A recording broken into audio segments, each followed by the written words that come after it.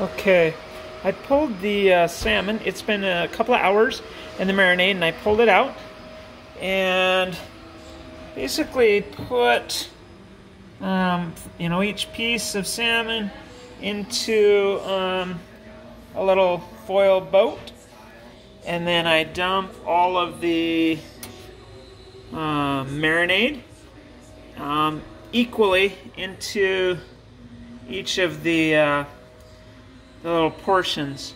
Uh, next, I'm going to seal them all up, um, and then I'll preheat the oven.